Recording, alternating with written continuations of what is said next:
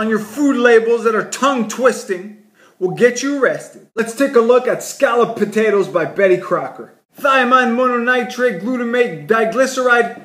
Betty Crocker, you're twisting my tongue. You're getting arrested. Let's find out what's in the sweet potato. Potato. That's Wellness Police approved. Let's see how fresh, sure fresh tortillas are.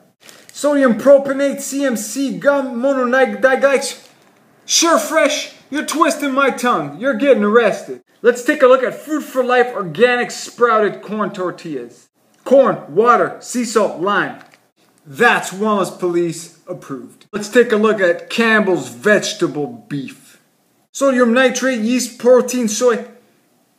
You're twisting my tongue. You're getting arrested. Let's take a look at what's in my grass fed beef. Grass fed beef.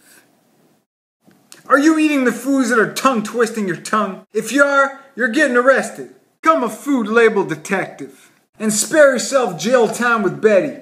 This has been another edition of the Wellness Police. I'll be back with more tips.